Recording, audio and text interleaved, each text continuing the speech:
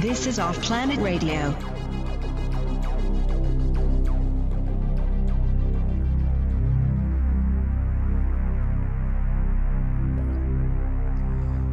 Welcome once again, everybody, to Off Planet Radio, Off Planet TV. Uh, the website is offplanetradio.com. I almost forgot my own website there. Uh, we're also on Patreon for those who wish to support us and be partakers in what goes on there, which includes um, some exclusive material, which includes the second half of this interview tonight. And uh, this ought to be a pretty good interview. We're gonna we're gonna be doing a few shows here with other people in the media. Uh, basically, we burned our last two guests out. We even managed to wear Cliff High out. So uh, we're going to see if we can do some damage on that side of the road as well. And Emily's going to tell you about our upcoming guest. Hey, Em, how you doing? I'm doing great. Good to be back.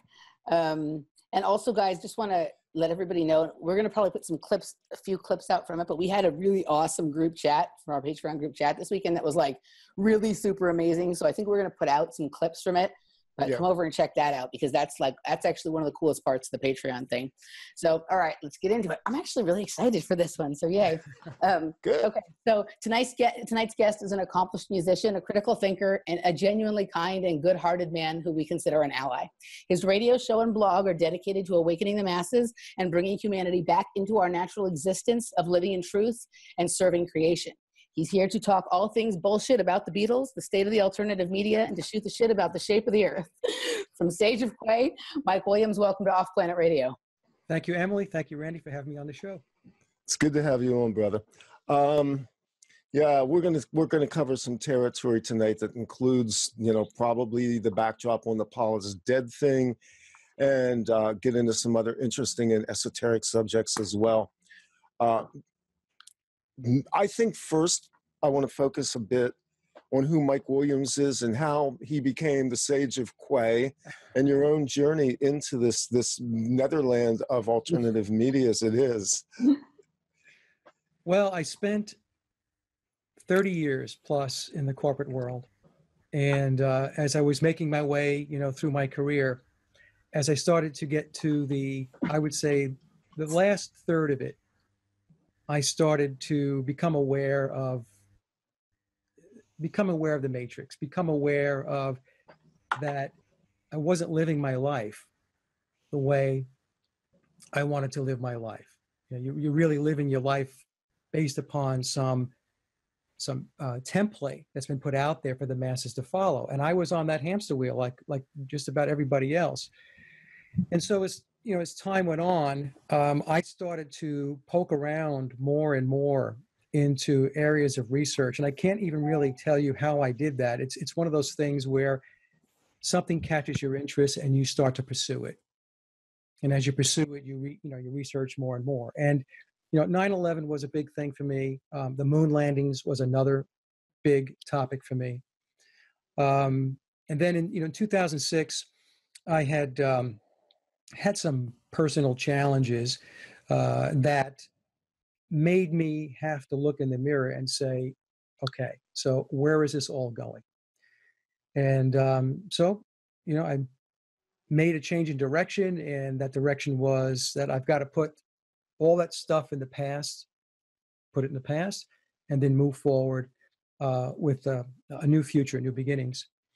And then in 09, uh, there was a really a spiritual awakening that took place for me, and it was uh, it was very significant. And that then took me onto the the spiritual path.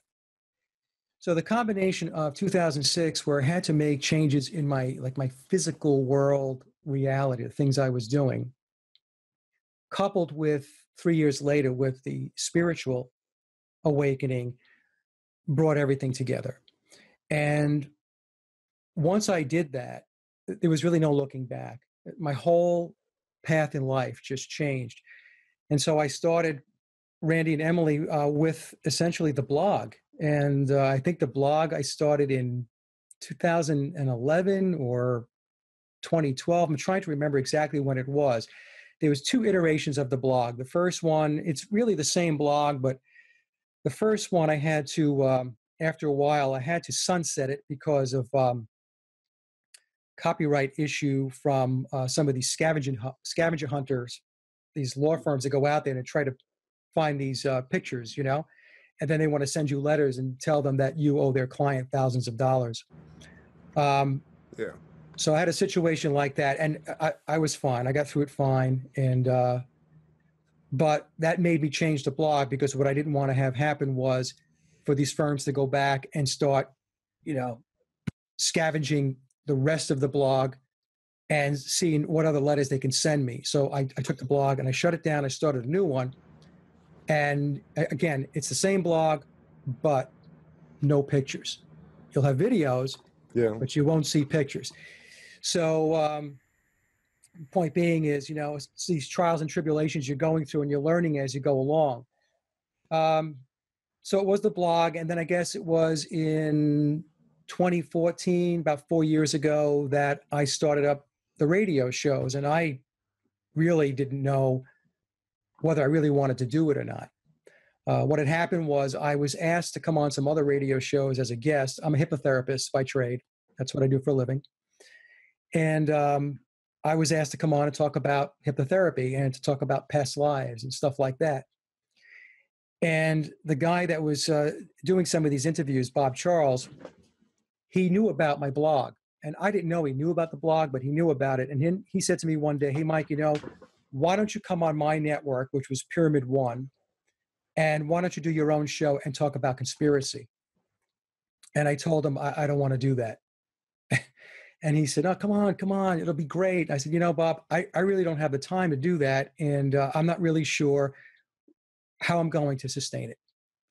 So, long story short, he convinced me to do it. And I did a couple of live shows uh, with him back in early 2014, around that time frame.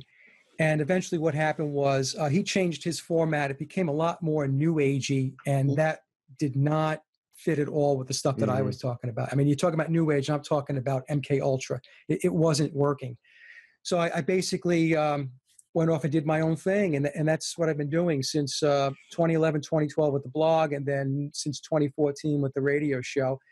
And I always give uh, a shout out to two people who got me started with the radio show. Two people that came on, and when I was nobody knew my name. It was David Icke Oh, and it was Max Igan. Oh, So, nice. Max and David. Yep, I reached out to Yeah. uh, somebody had David Icke's email, and uh, they forwarded it to me, and I sent it to David, and he wrote me back a couple days later, and he said, "Sure, mate, I'll come on your show." It was great, and uh, and then I also reached out to Max, and at the time I was listening to Max's podcasts, and I still do to this day. yeah. Um, and uh, I sent an email to Max, figuring, you know, I'll probably never hear from him, just like I thought with David, because these guys get so much uh, mail. And then Max got back to me within a couple of days and he said, Sure, Mike, I'll come on your show. So David and, and Max really gave it a big, big boost because once you have those two names hmm like that, when you approach other potential guests, they Yeah. look- and they're like, okay, yeah, well, David Icke was on and Max Igan. Okay, yeah, I'll talk to this guy. So uh, again, so thank you, David. Thank you, Max, for uh, helping me out. Yeah, it- that's interesting how it works when you're starting out. I did this. I jumped from Christian broadcasting in 2000, roughly around 2009, into what was called Exotica that became this show. And in the transition of that, I was sort of jumbling, but like you, you know, you kind of reach out to people. I got, um, I was very fortunate to get um, Bob Dean and Duncan O'Finioan to come on and duncan you know hung out for years. Um, that was one of the few radio interviews that bob dean did in that period. And uh, those are the things that jumpstart a podcast a radio show Yep. you know and in, in all fairness you were very fortunate to get david icke because i don't even think to this day i would could have approached david icke I, that that's nervous to me You, you know, I don't. I, my experience so far, because I've been doing this with Randy now for a year and a half, more than that, almost two years. eh, That some of the biggest people that I've gone, the ones that I thought maybe wouldn't respond, they respond right away. Yeah. Right. and then the unusual people respond right away but it's there's this like space in the middle where people who think that they're a bigger deal than they are they're the ones who don't respond you know what i mean so yeah, some of the people i thought maybe would never respond usually got back to me within the day Yeah. you know what I mean? So it is interesting, and that's why it's always. I mean, me and Randy, sort of jokingly and sort of not jokingly, the other day were like, "We should invite Pee Wee Herman on the show." right? An interesting conversation, but he probably would get back to us. You know what I mean? um, but yeah, no, it is. It is interesting, but yeah, it's definitely you got, you got a big boost from that. That's awesome that, that they they did that. I don't listen to David Icke too much anymore, but I still do enjoy listening to Max Igan.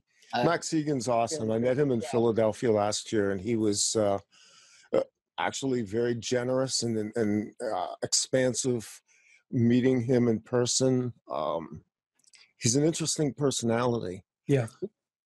It- We've never had him on the show, but I think we will. We'd like to this Well, year. I think, you know, and I think we got to go there. We sort of, you know, we kind of have this weird agenda here where uh, we sort of are in a flow and we kind of pull guests in as we're kind of in a discovery process, which in the background, and sometimes we'll release these videos.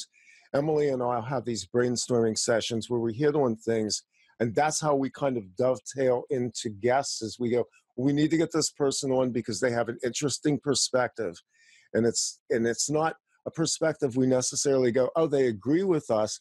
They have an interesting perspective that lets us begin to expand off of a base of knowledge. And that's what we want to do. We want to we want a divergent interesting mix of concepts and ideas and things like that which i get the sense you do as well Absolutely. I don't want to be pigeonholed. And um, I- I base my show, Randy and Emily, based upon what interests me. So if yes something piques my interest, then I'm going to seek out a guest uh, that I think will be able to talk to that topic. And that irritates some people because some people, they just want to hear a certain thing. Mhm. And, You know, and that's not what I do. And I try to very diplomatically explain that to folks who come to me and say, Oh, I don't know why you had that person on or why you keep talking about that topic. And I'm like, look, it's not about you. You know, it's so many people out there that want to hear different perspectives and they are interested in this stuff. And my job as a host is to bring the best person forward that I could find that can present that material so that we get an informed discussion. So, yeah, so I'm the same way. I like to be very varied about it. I like to shake it up and uh, talk about a multitude of things. I don't want to stay on one thread because it gets really boring. Yeah, absolutely. I, I, I- really like listening to your show. I, I found your show a couple of years ago, and um, you have some great guests on. We share some. We have had a lot of the same guests, but a lot not. Um, but even some of the same guests we've had, what you know, I've heard what you've done with them, and then it's given me kind of other ideas of a different avenue I want to take with it. And I'm sure people do that with our show. That's I mean, that's a way we should all be working together. It's not about who gets the best interview or who does it best. It's about how all of us find the most answers the quickest. You know, you know, and the, and the, the best, truest answers. You know what I mean? Together. Um, so yeah, I, I, I appreciate your show and I listen quite often. Well, thank you. I listen to your guys' show too, and uh, you're right. We listen to each other's shows, and I'll get an idea about what the discussion was about, and then I'll have questions and ideas and say, well, you know, if I get this person on a show, I might follow up and ask the, you know, these questions. Yeah. And so it's Same thing, kinda yeah. dovetail off of each other, you know. So it's good. One of my favorite shows that I that I ever did, um, I did with Sophia Smallstorm, and I I had for a long time had this idea that CrossFit was a cult, but I didn't know who I would talk about it with. And then you guys did that show about Rhabdo, and Yes. I thought, okay, like so, you know, so I had I had never spoken to Sophia at this point. I contacted her at some point after that because Randy had done another show with her uh, and someone else's show. They'd been on a panel together, or he'd been on her show. And I said, I'm going to do something unorthodox, which was kind of I was nervous to do it because she's Sophia Smallstorm and I'm just me. And I was like, look, I heard your show with Mike, but I have this idea. What do you think about this? Would you be willing to look into this and do this with me? And she did. And we like we went so far down a rabbit hole. It was like the quintessential Sophia Smallstorm kind of podcast. And it was awesome. And, and I, you know, I was, had been looking for someone for a long time. So I was like, great, I can do that. So that's one of the ways we can really grow on each other's kinds of ideas and the things we do with each other. So Yeah, Sophia's one of the smartest people that I know. And she's a good friend. And I have another friend who said to me, he's also in the alternative research community. He said to me, Mike, 50% of what I know is from Sophia. well, I think that most important, I mean, I don't agree with her about everything, but Yeah. I like the way she's, I mostly like respect, like I, she's a huge inspiration to me in the way, um, and, and to be a radically free thinker and to just not be afraid to go down like the Yeah. weirdest cur- like the weirdest part of the rabbit hole and just totally like totally dive in and uh yeah that's Yeah, she's a thinker, and you know you can agree to disagree with people. and That's fine. I mean, it's really a, an arena of ideas, and to be able to have civil discourse to talk about whatever, you know, and Yeah. um, and that's the thing. A lot of people don't want civil discourse. They they want you to to believe what they believe, yeah you know, and and that's just wrong. And um, you it's know, also boring problem. it's It- also boring It is very boring. yeah yeah for sure um so so that's how you got to doing the show and whatnot what to you like has been the most interesting part of this like is there something that before you started doing the show because you've spoken to at this point hundreds of interesting people um is there something that you used to be sure was true that now you know is not or something that you used to think was total bullshit that now you're like my obviously we'll get into some of that in the second hour like, since we're here, is there something that you were totally certain was true? You know what I mean? That, that like one of these guests just totally changed your mind about uh, within one hour, maybe even. Well, I knew from my reading that MK Ultra and mind control was true. And then it's another thing when you talk to somebody like Elisa E, who's been on my show, Yeah, an our actual MK Ultra victim. And when they talk about what goes on, and you're getting the personal perspective, that's very shocking.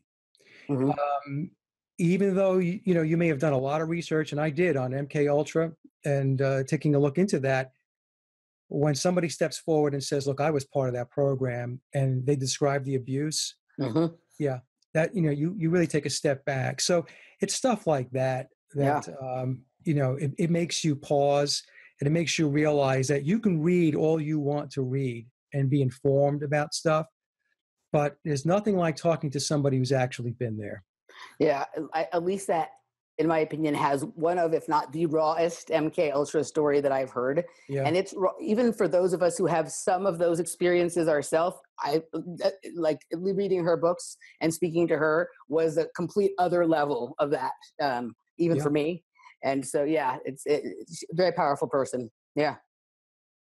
Yeah, no, it's, it's um, all of my guests. I I really have so much respect for all of them because they all bring expertise to the table. They are all solid researchers.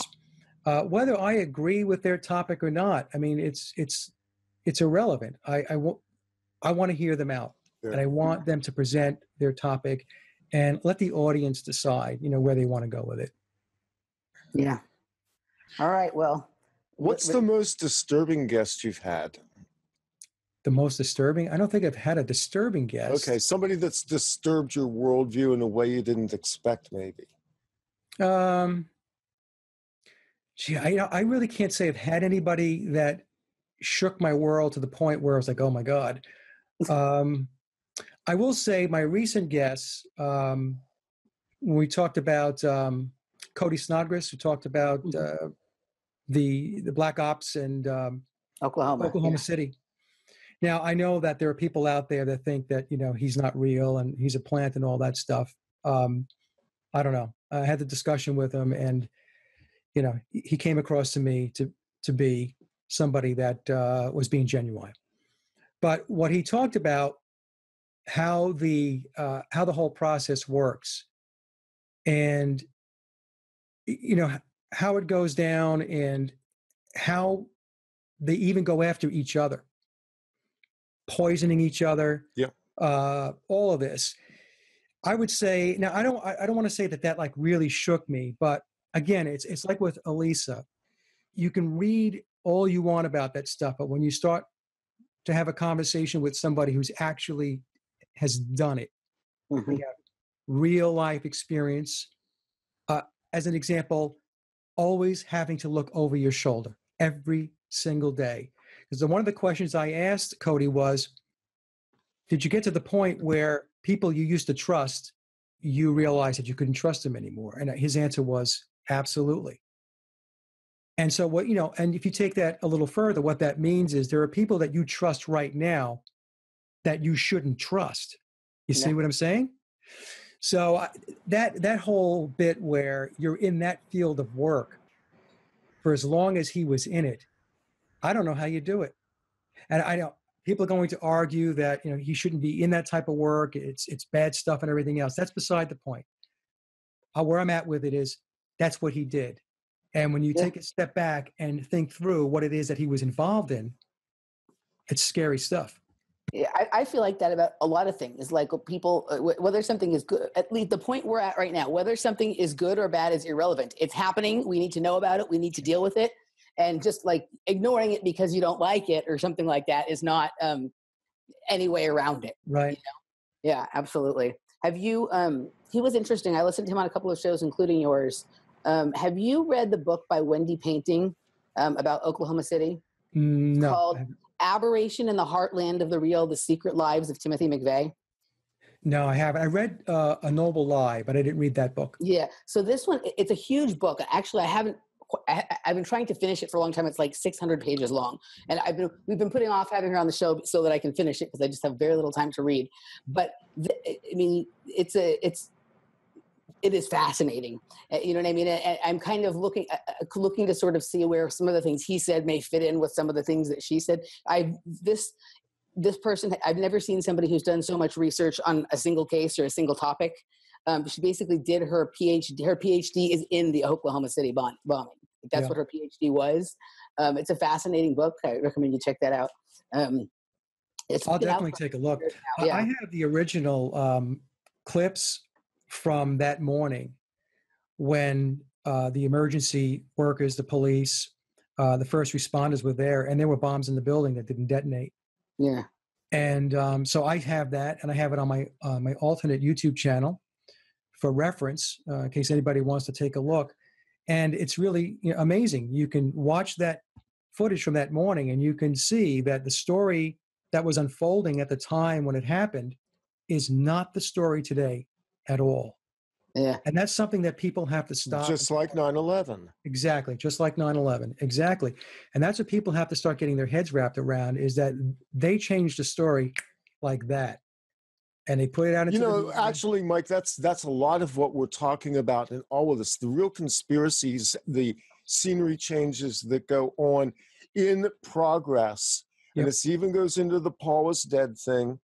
Um, they change the scenery, they change the storyline, and they do it in process while we're watching. And they count on the fact that this is the goldfish effect, that basically we're not going to notice, and the very subtle changes are then queued up and, and pushed out. And, you know, 9 11, it's such an interesting progression from Waco to Oklahoma City to 9 11 because there's a chain of evidence that follows through all of that that is historical in what was happening to expose how these people were almost literally exposing themselves as they tried to cover up each significant movement they were doing. Right. Well, and because the the media is complicit, they can cover their tracks very easily. Yeah. And because virtually everyone that's in government is corrupt, at least in positions where it counts, um, they can get away with the lies. They can continue to to move forward, even when they screw up big time. At some point, it's going to get covered up. They're not going to investigate. They're not going to talk about it. And this is what we see all the time. It's like the game of telephone where like you used to play when you were little. By the time it gets to the last person in the row, it's a completely different sentence than it was when it started. There's not even one word the same. Yeah. Right. So absolutely. Um, you see, I, I mean, it's interesting to what We're, we've gotten a lot better about being really observant in the beginning. So like some, like this last thing with Las Vegas, they're not being able to get away with some of the shit that they've been able to get away with on the other ones because literally the moment it starts to happen, people are recording every little thing and Right. noticing every little thing and um, being more diligent about staying on some of this stuff.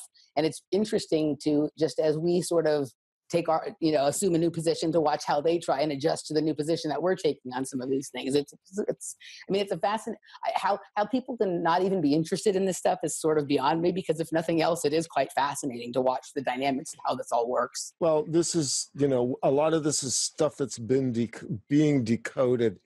You know going back to the jfk assassination and then going forward and that took decades to uncover really.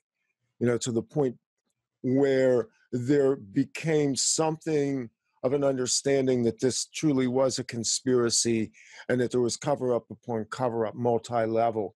And then I actually started decoding these events with the uh, Virginia Tech shooting in 2007 through like the Aurora Batman shooting up to Sandy Hook. When we got to Sandy Hook, I made a conscious decision because I actually spent eight hours blogging on Sandy Hook as it was happening.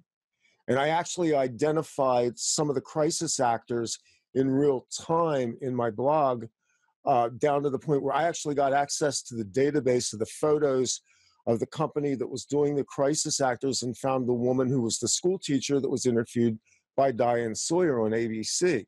The crisis actors database website went down, and that video was wiped. And after Sandy Hook, after exhaustively going through Sandy Hook, I made a conscious effort. I said, I'm not doing this anymore because it it literally just you feel you feel depleted as yeah. a result of injecting yourself into this.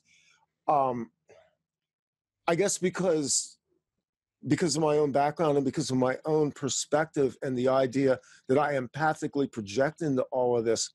By the time we got to Sandy Hook, I went, there's plenty of people out there. I emotionally couldn't do this because I felt like I was being pulled into darkness with it. Yes.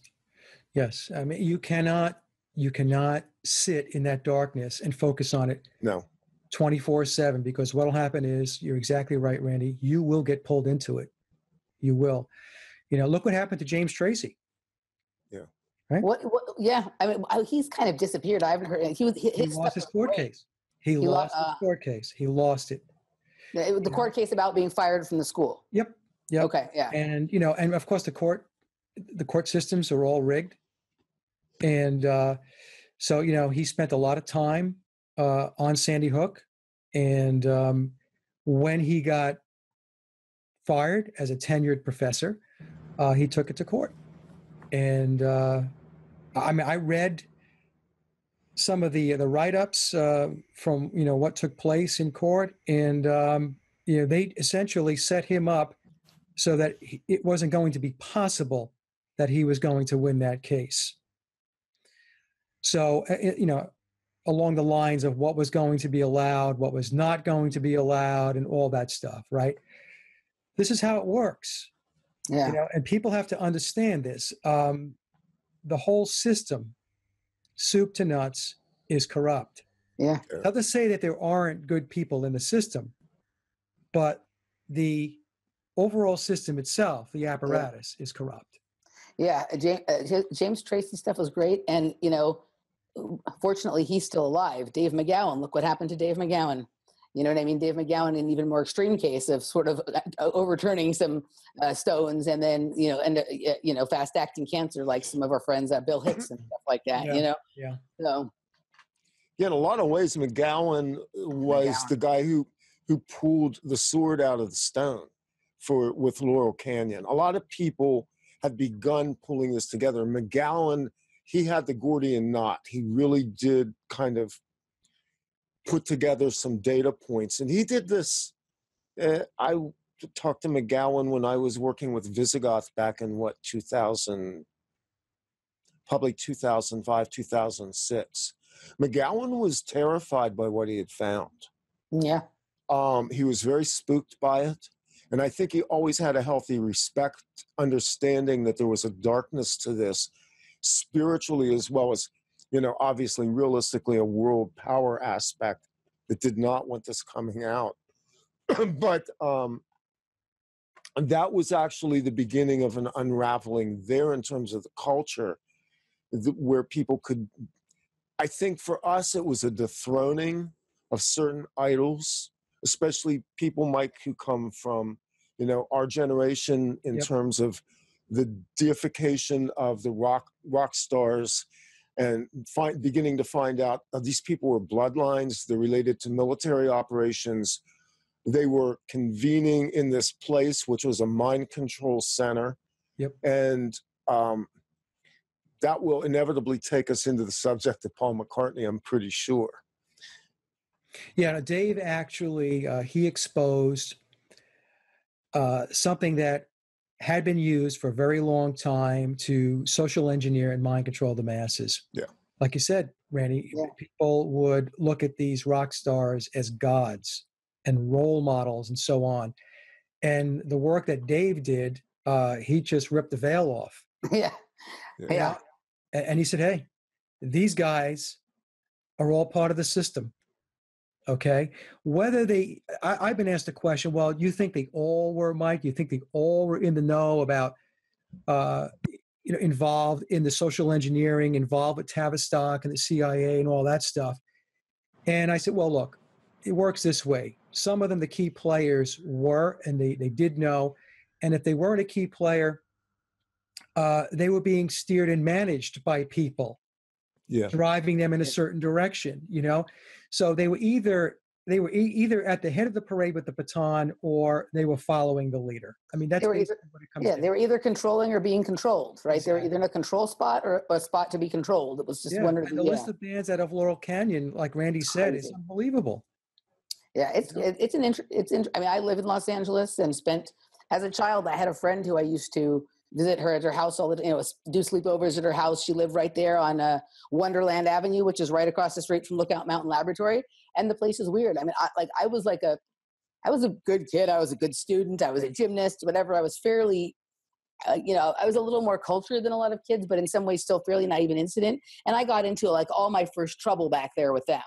You know what I mean? Like all the first time I ever tasted liquor or smoked a joint or anything like that. It always happened there. It didn't happen in other places. you know what I mean? It just has that kind of um, energy to it. But I mean, now that once Dave McGowan ripped the lid off, I mean, uh, there's just tons of people sort of running with what he did and looking at every genre of music, and we're finding it everywhere. like you know, it, it wasn't just um, when I heard him talking about that, I um, I began to inspect my own music scene, which is a very different one than yours, and I found the a, a very, a different version of the exact same thing. And Mark Devlin has gone and looked at his music scene, and and we've had conversations about this, and it's just there's almost no corner, there's almost no stone that they haven't you know that, that you can turn over that you don't find this underneath it.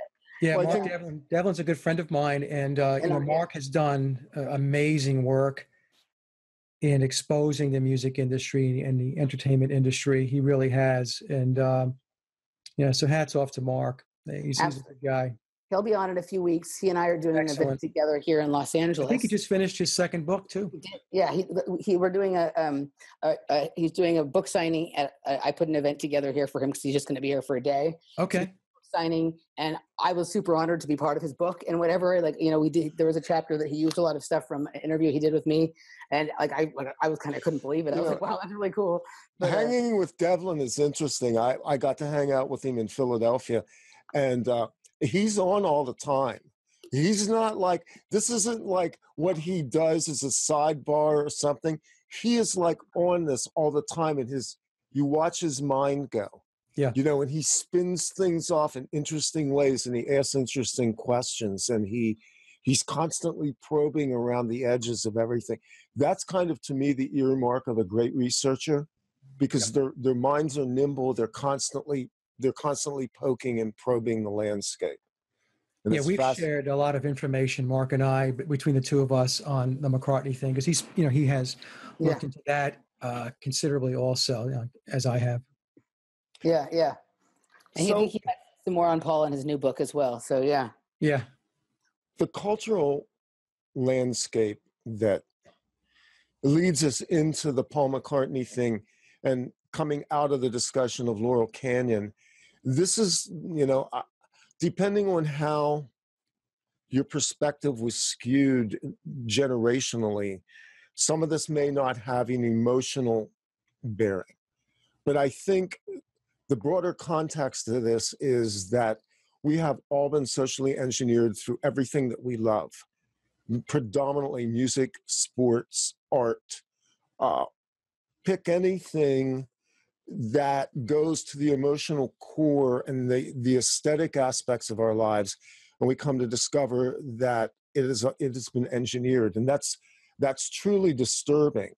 You know, especially like you're Mike, you're you're an extremely good guitar player. I mean, I've watched some of your stuff, and I'm like, God, I I oh my best. I'm a sloppy guitar player. you know, I basically was a singer who took up guitar because I wanted to be able to write. And so I never really developed the affinity with the instrument to be able to play it deep. You know, it's basically a rhythm guitarist. But in looking back on it and what influenced my life, there's how do you explain listening to a Bob Dylan or a John Lennon, um, even a Leonard Cohen, who I know was under deep mind control, listening to the, the lyrics and the music and the resonance patterns that they set up? I mean, I can honestly say that there were times when the poets and the musicians saved my life and realized that a lot of this was a product of think tanks and mind control. Yeah. It's it's a hard pill to swallow, Randy, uh, because people want their music to be organic. They, yeah. they they want to believe that the music is coming from the heart and the soul of the musician. Now, I'm not saying that there aren't musicians out there and are not writing music from their heart and soul. But when these bands and these artists get to the big time, it's controlled, plain and simple. And music, the music industry and the entertainment industry is used as a major, major social engineering tool. And uh, and it goes all the way back you know? I mean it's not just it's not just the beatles which was very difficult for me because i grew up as a beatle freak. I mean the, the beatles were the reason why i picked up a guitar you know? And that's why it took me a long time to to hop into this whole mccartney thing which we'll get into because i guess you know psychologically and emotionally i'm like i i don't want to go there. You know? This was my childhood but you know, we go back to Elvis and uh, uh, Hendrix. You know, uh, military, right?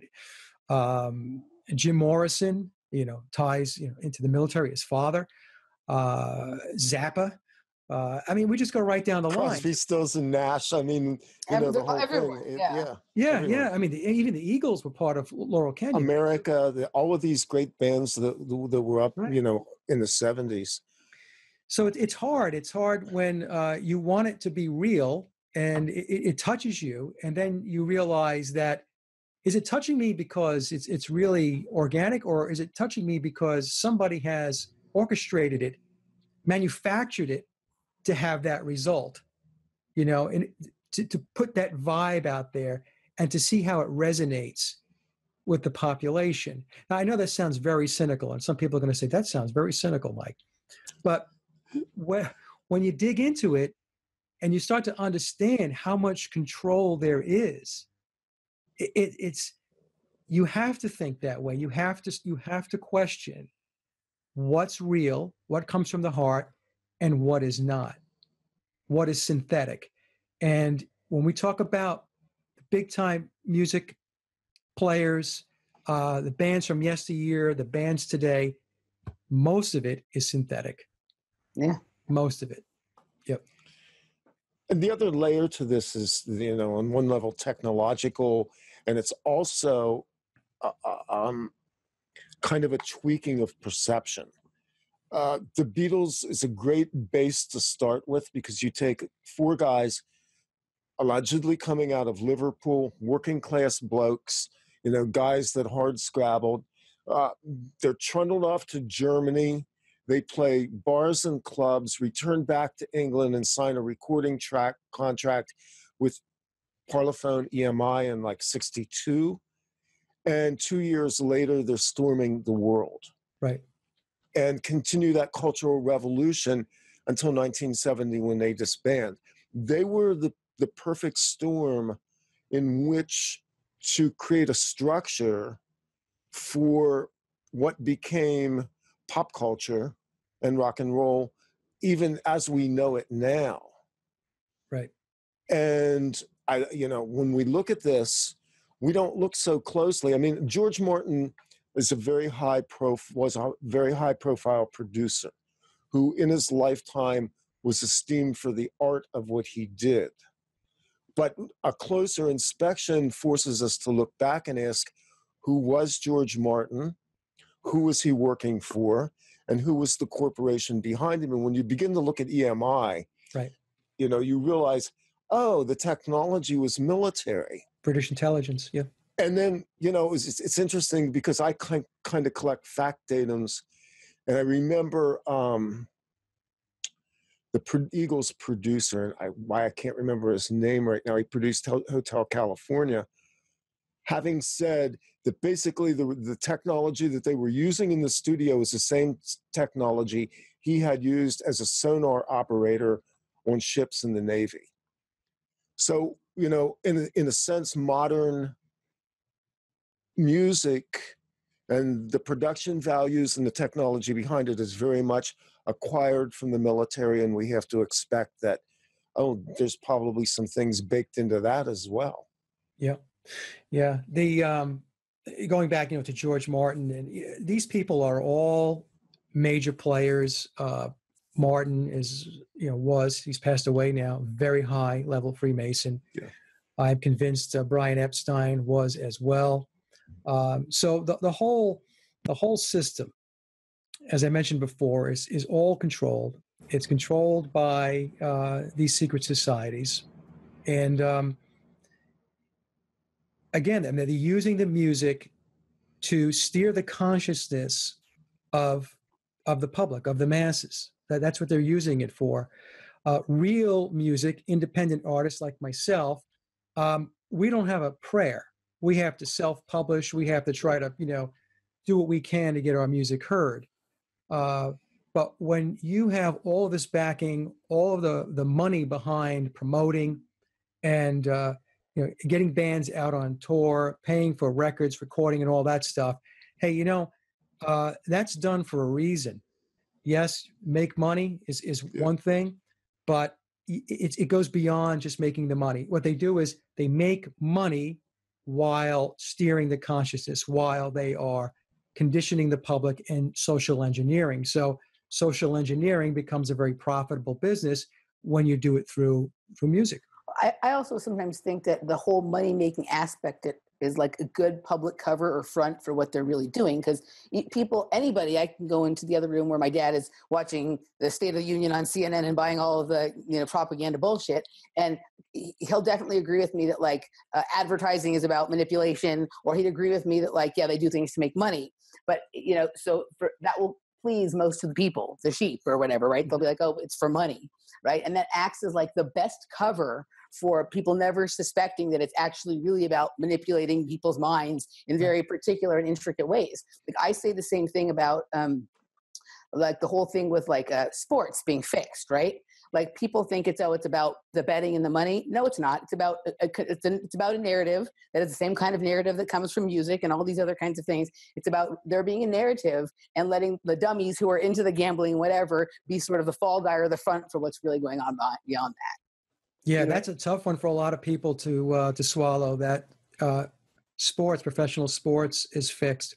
Yeah. It's interesting. Uh, Paul Romano put a video up on uh, his website, Pockets of the Future, where Yeah, Um, I love it. Yeah, it's good stuff. Yeah. and where you know this guy missed the tackle completely, completely. You know, he looked like a total amateur out there, and and and Paul had said that you know the fix was in. This was fixed. hmm and people went nuts. People went nuts. "Eh, it was just a missed tackle. You know, what are you talking about? Not everything is a conspiracy. Not everything is controlled.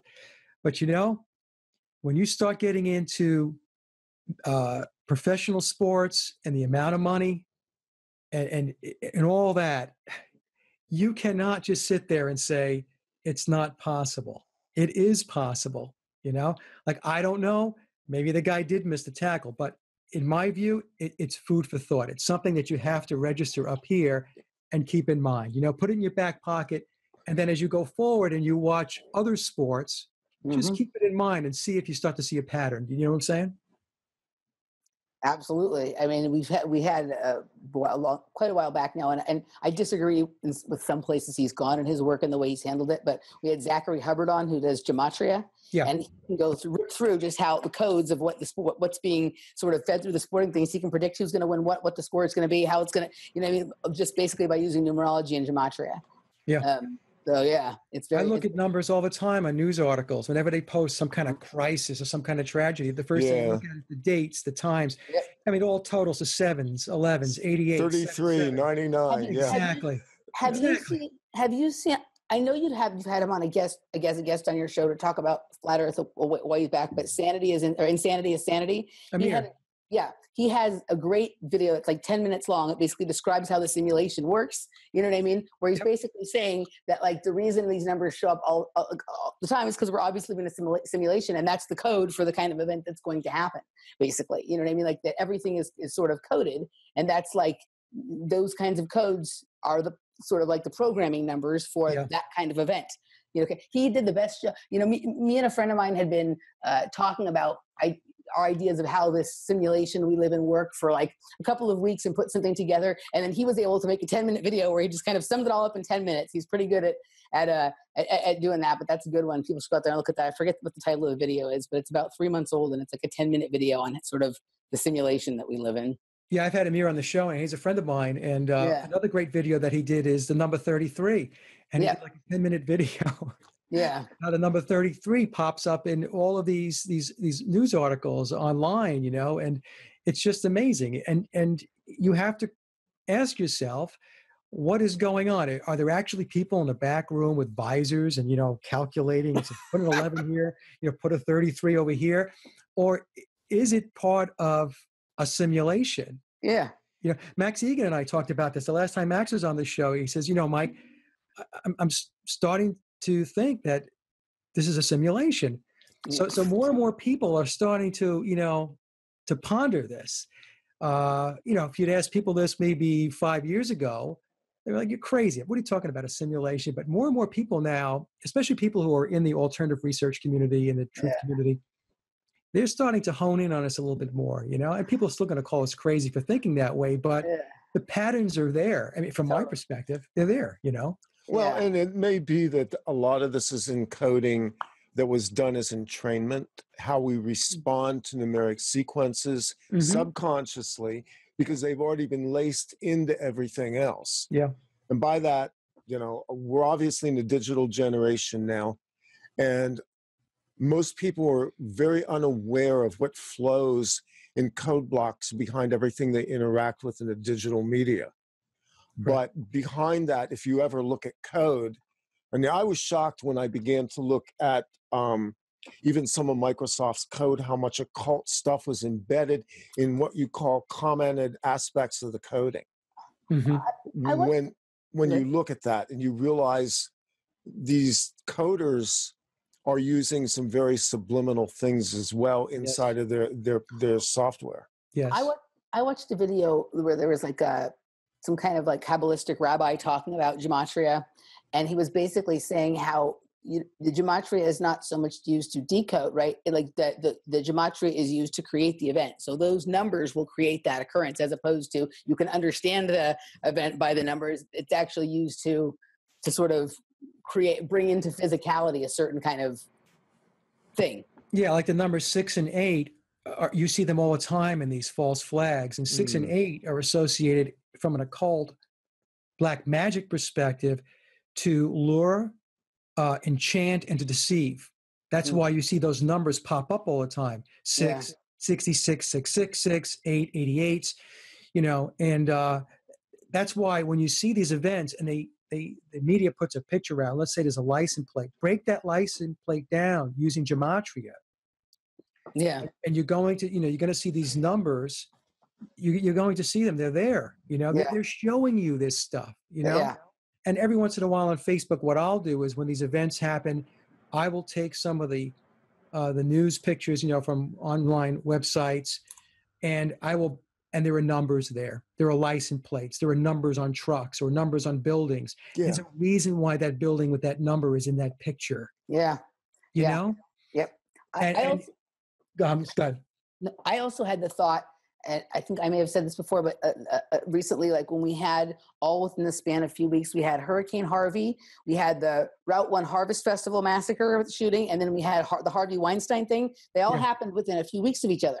Was there some kind of misfire? There was supposed to be some event related to the Harvey or Harvest or something, and just some kind of very like, something went wrong in the simulation, or maybe as we start to understand the simulation, it doesn't work quite the same way. Like someone becoming aware of it alters its effectiveness. Another one was um, how we had Hurricane Sandy within weeks of Sandy Hook, and the Hurricane Sandy actually moved in a hook shape. there were two Sandy Hooks involved with that. The one in New Jersey and Yeah, the one in Connecticut.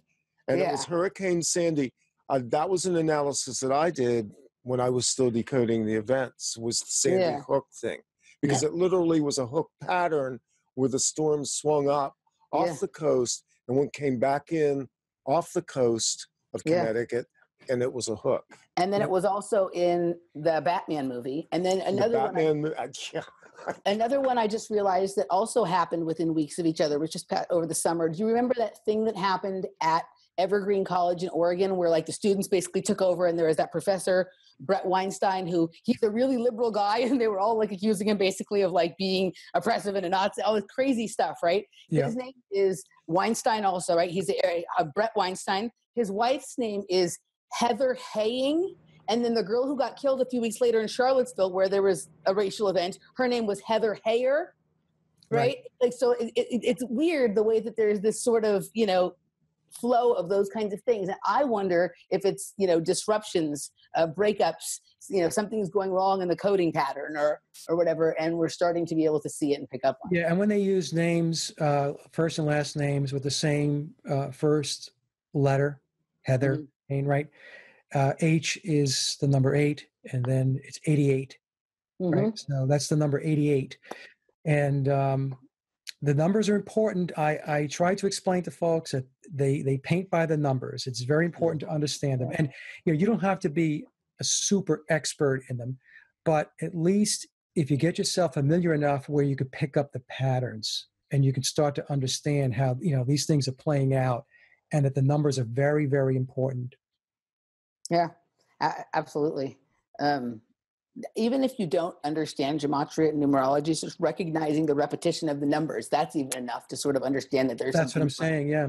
start there start picking up Yeah. the patterns right and start asking yourself why do those numbers continue to to appear Yeah. right that's what i'm saying yeah It also, if you notice, sometimes like when you watch a video about a topic, the same number that was in the main number or like, came up over and over in the topic will be like the length of the video. yeah Right, you'll get things like that, and it's like, what? right, you'll see that on CNN or Fox News if you go on their. way. You're like, what? Very bizarre. Well, I also think that this is a basic encoding in the, the the reality stream that we're in. There is an encoding to it. I've noticed even the synchronicity of numbers that occur around me. I'm very aware of it, and I note sequences. I'll even note sometimes when I'm posting um, onto my our website uh, the the blog article number, which nobody ever sees because that's aliased in the, in the web address. But I'll see a number and I'll go, well, that's interesting given this show. And I can't give you a cited example, but it happens often enough that I'm struck by the fact that we are basically working by a numbered system here. And I think it's I think it's double edged. I think we can once we understand it, we can begin to decode things in a way that's meaningful. And that that meaningfulness gives us the ability to kind of turn the game around to a certain degree. then we can start encoding things that are meaningful to us. Well, and we the- yeah. basically are doing Yeah. that, you know. Yeah, we are. that's the key the key is to understand it see the thing is what happens is as much as we research this stuff when we are measured up against the people that are actually putting this stuff out there we're profane i mean Yeah. we Yeah. probably don't like to consider ourselves that but at the end of the day like i said these are adepts and uh, initiates right and um, so Randy's absolutely right. If we get to the point where we understand this and we understand how to apply it, then what happens is we're going to be able to do things where we can change the reality. Yeah. Where we can we can move even ourselves, not even the whole population, but you Right. can you can actually steer yourself in a certain direction, a different direction, uh, when you start to understand more and more about this stuff. Eh, Uh, yeah. Yeah. So you know, it's And he's right. We're already we're all we're already doing it because we're three of us sitting here tonight having this conversation, having a much different life than we had eight, 10, 12 years ago. exactly. Yeah. Well, and, and you got to bear in mind too, a lot of these media people, when you look into their background, and this has come up consistently when we've talked to people who have come out of projects, were literally bred and educated into this system. Um, I've often wondered why so many major newscasters in the U.S. came from Canada. Canada. Um, some pretty well, Peter Jennings comes to mind, and a number of them what I discovered was a lot of these people had come out of projects very focused on training in semiotics, use of language, Yeah. use of symbology, projection of image. And in fact, they're adepts at that because that's a very esoteric art. It's the art of basically prophecy and communication. Well, you also have to remember that Marshall McLuhan was from Canada, right? Exactly. And Marshall Yeah. McLuhan figures into this very, Yeah. very heavily. Yeah. as um, I don't think most people want to admit that. Oh, there goes another idol.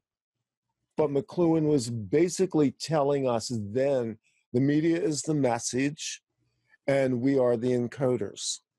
And so, in a way, he gave us a gateway to begin to decode the reality stream via media. And in that media, media that existed just before the digital era. Yeah. Yeah, and a lot of these, uh, probably more than a lot, are trained in neuro linguistic programming (NLP). Exactly. Um, I have a clip of uh, Sean Hannity. Uh, it's about 10 minutes long, and it's a 10 minute long uh, display of NLP. really? Yeah. Oh, yeah. Yeah. I, could, I could forward it on to you. It's Yeah. there's a guy that uh, he's a um, NLP professional and uh, expert, I should say, and he broke the clip down and he he said he's doing this, he's doing this, he's doing this. It's about ten minutes long. It's great, and you Yeah. can see, you know, uh, Randy's right. I mean, these people are all trained in this stuff. He, these guys and these gals don't get to positions, uh, prominent positions, just because they just got lucky. You know, Right. it, these there are positions in the media in government in the military no it's you can work as hard as you want to work but if you are not one of the chosen ones if you're not earmarked if you're not on the radar you're not getting that job period That's interesting to me about Hannity because he doesn't seem that particularly clever to me. But if he's tr- programmed to do this or trained to do that, as opposed to kind of doing it of his own, yeah, then it- it he well he he you know he again he is specific to the target audience that he's addressing yeah, which is basically your grassroots level conservative republican right in the mainstream and there's a whole level to that. You don't want to be overly intellectual but you still want to be able to effectively use the tools and he's very good at it. He slips stuff in. When you listen to these people they constantly slip things in. They're not making mistakes.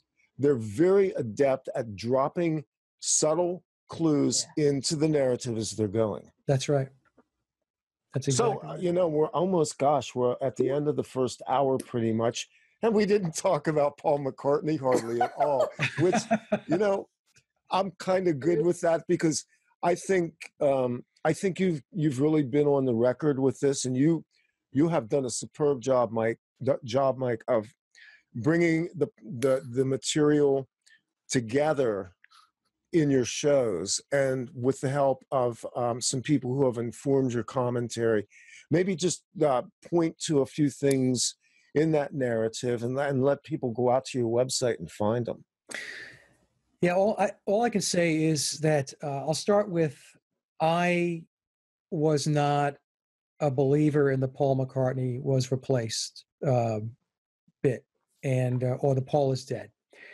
and um, I don't even subscribe to the fact that he's dead. He could he could still be alive. i don't either t- truth Yeah. be told yeah Yeah, and I say that you know Paul was replaced, biological Paul was replaced, and they got the Paul is dead thing because the first show I did with Sophia um, dealt with the book the uh, the memoirs of Billy Shears, which is what I showed you guys earlier before we started the show. The book here, Yeah. 66 chapters, 666 pages, right? Of course. The book, it Of course. says- of course, right? There's your encoding right there. In the book it says that you know paul biological paul died in a car crash. But um it's once you look at the evidence and you take a look at uh, what i did one of the biggest things that i did that i think hit home with a lot of people was i i created a collage of paul mccartney over time. So i you know it started off uh, with a picture of two of biological paul from 1964 65 and then i I followed it up with pictures, and it's like two or three, I think it's three slides now on this. And you can clearly, clearly see, unless you don't want to see, you want to put blinders on. If you're a clear thinking person, you can see this is not the same person. It's not. It's not Yeah. the same person. Um, now, one of the things I did want to point out on the show, uh, because I think I'm the only person to really have discussed it. When we talk about the whole Paul is dead or Paul is replaced um, topic, everybody focuses on Sergeant Pepper, right? Because that was Bill Shepard or uh, William Campbell or Billy Shears, whatever you want to call him by. That was his debut album. He was brought in to the Beatles uh, to bring in the uh, psychedelic era. That's really what his job was. And uh, also, he essentially replaced Brian Epstein as the manager and the handler. Yeah. So once once they had uh, a manager slash handler, a director inside the band, they didn't need Brian Epstein anymore. And interestingly enough, uh, Epstein dies in August of uh, 1967 Seven. Yeah. and you know Pepper came out in June of 1967. Yeah. So I mean, it, it's it's kind of people can call it coincidence, but once you look at the topic in its entirety, you will see that you can call it coincidence if, coincidence if you want, but it starts to all add up. Now, what I wanted to show you guys is this is the this is the album that really is the one that people should A be. little higher, a little higher. Can you see it? There we go. Yep. Okay. It's called A Collection of Beatles Oldies. And this came out in December of 1966. I think it was released December 10th. It was actually released as an interim because the Beatles didn't hit their Christmas album that year. Is that correct?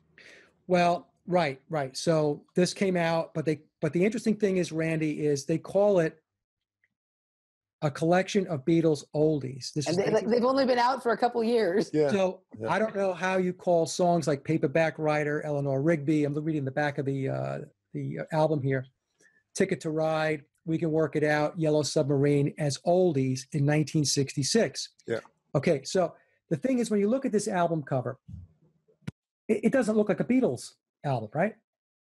The only the only Beatles that you see is right here in small font, small print Yeah. right? A collection of Beatles oldies. So what is this? The Well- person on the front cover is Bill Shepard. Bill Shepard as Vivian Stanshall. Now, if you take a look at the way they depicted him, right? This is how Stanshall, many times you would see him back in the 60s. This is Yeah. how he dressed. Yeah. Okay. So what they did with this album was they were introducing Bill Shepard to the world. Because when you look at this and you call it a Beatles album, the first question anybody should ask themselves, well, who is that guy on the front cover? Who is that guy? You know? That's Vivian Stanshall. That's Bill Shepard. Shepard played Stanshall. He was also Phil Ackrell of the Diplomats.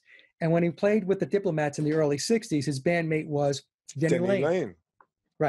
And so when he went solo after his Beatles career, who did he call in? He called in his old friend, Denny Laine. And it's interesting. Um, I, I think it was in August of last year. Denny Laine uh, did an interview with uh, uh, another YouTube channel. I forgot the name of it. Um, sorry, guys, uh, if I should remember the name of your YouTube channel. But in that interview, Denny pretty much he pretty much He outed it. He Outed it. definitely, yeah. he spilled the beans because at the end, you know, he says, "Well, you know, who the hell is uh, Billy Campbell or William Campbell anyway?" Um, meaning, because I should set it up a little bit. The interviewer was asking him what was it like to work with William Campbell, Billy Campbell, Billy Shears. And so uh, you could see during the whole conversation, Denny has kind of this tongue in cheek look on his face. And at the very end, before they cut the camera, he says, Well, who the hell is Billy Campbell anyway? And what he was saying was, It's not Billy Campbell. It's it's William Shepard. It's Billy Shepard. Billy Shears. Shears is a play on the last name of Shepard. You see. Yeah, share the sheep. Yeah, of course. I want to put a link up to that video. Do you did you notice the hand gestures that were in play during the course of that interaction? Um, I can't say I focused on them. No, Did- Okay, but they're there. They're very subtle. they're very subtle. Yeah. And I think I looked at that. I, I watched that interview a number of times, and that was it's very clever. It's But very see, this is the game of the wink and the nod that the Right. present McCartney plays as he's sort of outing himself. He's almost schizophrenic about this. Yeah. Because sometimes it appears as though he's talking about Paul McCartney as the other person. right. And he Right. does this referentially. I noticed this. I don't know if any if you've seen this book. This is um, uh, Paul Du Noyer's conversations with McCartney. Okay, I have seen the book, but I haven't read it. Yep. Okay, the, the book's interesting because there's so many inconsistencies in it. Yeah. For somebody like me who studied the Beatles, um, a good reference is Bob Spitz's book, The Beatles as well. Yep. It's a big book. It's it's massively referenced, and the final conclusion that the book makes at the end is nobody really knows what the history of the Beatles is. Yep. It's stunning when you read it. You read that big a book, and you get to the end, and in the footnotes, you look, they're exhaustive, and he goes, Nobody really knows what the history of the Yeah. Beatles really is, including the Beatles themselves. including the Beatles themselves, whoever Well- they may be. You know, I What- just wanna- What's happened is, um, you know, Shepard has gotten to the point where um, he's, you know, he's running out of runway. He was born in 1937. He's five years older than biological Paul. Yes. That puts him at 81 years old. And um, I actually had a correspondence with Tom Uharriet. Tom is the author of the book, uh, The Memoirs of Billy Shears. And um, basically, you know, the conversation that we had, it was through email, was that William's at that point, or Bill's at that point, where nobody knows who William Shepard is. He wrote all of these songs, right? He was a major player in, in this, this what some people consider to be the greatest rock and roll band of all time. And he's known as Paul McCartney, but he's not Paul McCartney. And I, it's it's catching up with him. You know, it's it's one of those things. Like if if you wrote all of that music, and some people say, well, maybe there were ghost writers too. That's fine. Uh, maybe there were, but I'm also very positive that he sat down and wrote a lot of songs himself and you wrote all those songs and you put them out there and at the end of the day you turn around many many many years later and you look back and you say i wrote that stuff not this guy paul mccartney so i I think that that's what is actually starting to really really bother him now mm, yeah. Well, you have to assume too, given this is a Tavistock operation, there's a fair amount, amount of mind control. This guy's been running for over 50 years. Programming breaks down, and eventually, the individuated ego begins to reinsert this uh, i- itself. Anybody who goes through recovery of memories through trauma knows that at some point the self reasserts even through the filter of what are potentially multiples. And you see this in McCartney now. I, what's interesting to me is that he's still doing this at this age and that he seems endlessly willing to keep extending himself out even when he looks ridiculous doing so. But it appears as though he's still trying to establish some legacy. Yeah, I, I, he's still. I, I don't know. It, it's it's almost like like you said, Randy. He's trying to like almost validate himself when really he doesn't have to do that. Now, I have a theory, and it's just a theory, folks. But uh, Memoirs was published back on September 9th of 2009, 999. And we talked about Of course. before. So in the book, Shepard says that uh, biological Paul McCartney was all about the nines. He's all about the sixes. So this September 9th, 2018 is also 999. Okay, so we take the 18 at the end of 2018. One and eight Yeah. is nine. So I ran this by Tom, Tom Uharriet, and he wrote me back is Mike, I like the way you think. Now that doesn't mean anything's going to happen, but 999. Also, Now, I'm thinking we're close to the end of this pony ride. I I think I think we're close to it also, Randy. And I also believe it's possible that if it's not on September 9th of 2018, it's possible it could be uh, November 11th of 2018 because that's triple 11s or 33. Yeah. Okay. Yeah. So if if he doesn't come out and say something on November 11th, 2018, something is going to happen on 11, 11, 11 or 33. Now that that's just my gut feeling. Like we were talking before, the numbers mean a lot to these guys. They they paint by the numbers, and so I don't think that that particular date in November, November 11th, is going to go by without something happening. Something, yeah. Something will happen. Yeah. Yeah, So- no, my my sense is that we're close to the end of this legacy, and it'll be interesting to see if the drop gets made on all this data that sits in the background, and potentially even Heather Mills.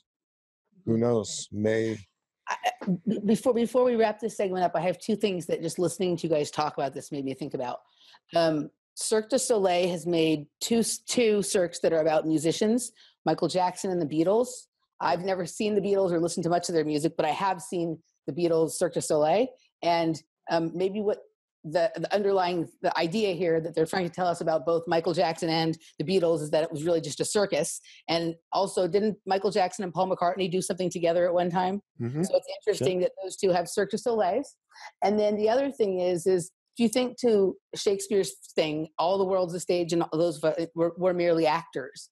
I see it two possible ways. Like a lot of these, like the Beatles and some of these other, even even some of the individual celebrities. It's like when you're in a traveling production in a play, right? And and like, or when they move to different cities, sometimes somebody's contract is up, they drop out. There's a new actor that comes in, plays the role. You do it for a while, so I see it like that. But also, Yeah, in Hollywood, in, in, in, in both in Hollywood with television shows and series and, and sequels of movies, and also in like Broadway and stuff, like people do certain roles when they're on their way up. They do it for a run for like a couple of years, and then they move on to other roles. Yeah. What if we're in some kind of theater here, absurd theater of the absurd, and some of these people have just graduated to other roles in a larger theater and a more prestigious uh, portion of the you know that's we discussed this about David Bowie and what I think Right. about with David Bowie and how scripted, right up to the release of Blackstar and his death two days later, all numerically very significant. Yeah. yeah. um yeah I, I look it's all about immortality i mean in the end the love you take is equal to the love you make okay? So if you go back and you listen to these songs there's a there's a tapestry there's a there's a things woven into them that i think are cryptically communicated messages into time itself Also, if you look at the various roles certain actors play, there's like a thread that runs through them. yes you know, absolutely That is very interesting. So I just often wonder, you know, the other day somebody, I haven't thought about this stuff in a while where people say, oh, this person is really this person and this person is actually this person. But the other day, somebody who was not like a conspiracy person at all to me said, did you know that Jimi Hendrix is Morgan Freeman? that one just freaked this me has been out there, you know, I, and this does get crazy. Right. honestly, at some point, you know, we do slip off of the edge of reality with this, but Yeah. uh, there's a lot of people, you know, we now live in the age where Mike can can pull all these photos together Yeah. and and there's tons of videos the you the age of video and the internet made it possible for us to do the forensics that at one time we really couldn't do No. unless we were willing to sit down and call through newspapers and microfilm and all this other stuff. That's right. Yeah. Yeah, But- right. Remember, it's all being rewritten too, live Re- in real time. Right, the revisionist history and uh, the um, it, it completely like removing certain segments of time from the timeline and all that kind of Oh, yeah. stuff. So Yeah, Yeah. Absolutely. I mean, I- I- all of history is a lie, right? What did Napoleon say? it's his story. Absolutely. It's it's a lie agreed upon, right? Yeah, And uh, so and uh, and the victors write write the history. So it, the history doesn't mean that that's what actually happened. It's, it's that's the storyline that It's his story. Yeah. the story. Yeah. That's all it is, you know. All right. All right. So let's pretty much wraps up the first That hour wraps here. up. Yep. Oh, you got it? You got it? Me? You? Go All right. ahead, back us up. that wraps up the first hour, guys. And if you'd like to join us for the second hour, where we're going to get into the state of the alternative media and uh, what what whatever the heck this is that we live on or in or around or something. Um, so if you'd like to uh, join us for the second hour, uh, off planet media, uh, sorry, patreon.com um, slash off planet media. See you over there.